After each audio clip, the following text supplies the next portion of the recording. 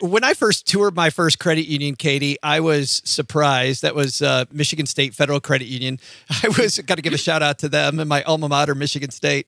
But when I first took a tour, I was amazed by some of the things that credit unions offer. Can you tell us about some of the things that you guys offer at Navy Federal that makes people go, "Wow, I didn't know you did that." Oh, absolutely. And this is my favorite talk to have with people because a lot of people think about credit unions and they go, "Oh, you're so little and cute."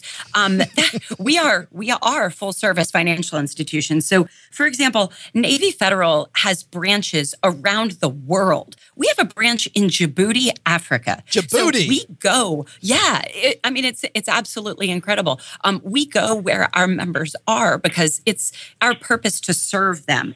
We have a hundred percent mortgage financing conventional. So we offer VA loans, but we also offer loans to, to non military members as well, up to 100% financing with no MI, which is something that nobody in the industry offers. And we're able to offer because we're a credit union. And also because credit unions we know our members.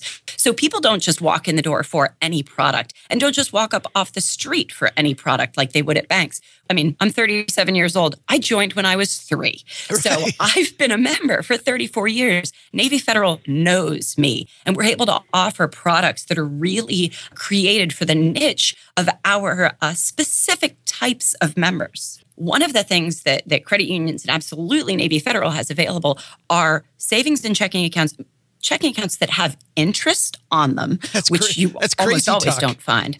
yeah, and checking accounts that are free as well.